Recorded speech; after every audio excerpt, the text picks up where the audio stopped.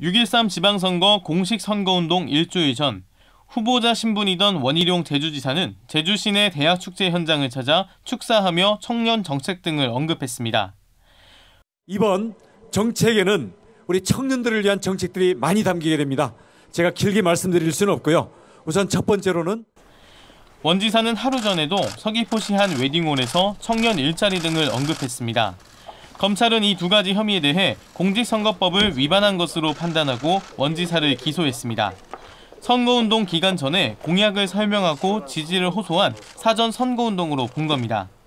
다만 고급 주거단지의 특별회원 자격을 받은 혐의나 라디오 인터뷰에서 나온 상대 후보에 대한 허위사실 공표 혐의 등 세 가지 혐의는 무혐의로 봤습니다.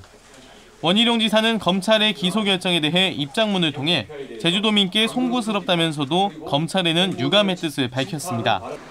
경쟁했던 여당 후보의 명백한 허위사실 유포 혐의에 대해선 무혐의 결정을 내렸지만 야권 무소속 후보였던 자신에 대해 제주도 선거관리위원회가 서면 경고로 마무리한 사안을 기소한 것은 정치적 판단이 개입된 결정이라면서 재판에서 위법성 여부가 명확히 밝혀지기를 기대한다고 말했습니다. 원 지사가 기소되면서 제주도는 1995년 시작된 민선 선출직 지사 4명 모두 선거법 위반으로 기소되는 불명예를 안게 됐습니다. KBS 뉴스 뵐게.